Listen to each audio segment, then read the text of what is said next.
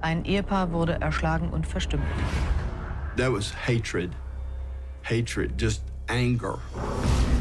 The victims were Derek Hasem and his wife Nancy.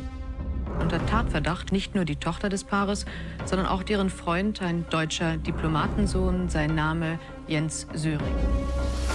The two of them were a horrible puzzle that fit together just right. My parents died because Jens and I were obsessed with each other. These were two lovers who had turned on each other. One day they said it was Elizabeth. She said, I've killed my parents. The next day they said it was Jens. He said that he had killed my parents. You lied, didn't And then they switched back again. you? I felt I didn't have any choice. Jens acted of his own free will. He had a choice.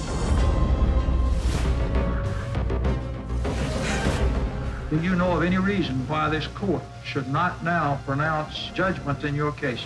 I'm innocent. This has so many twists and turns. Oh my goodness. And so they both lied, but who's lying now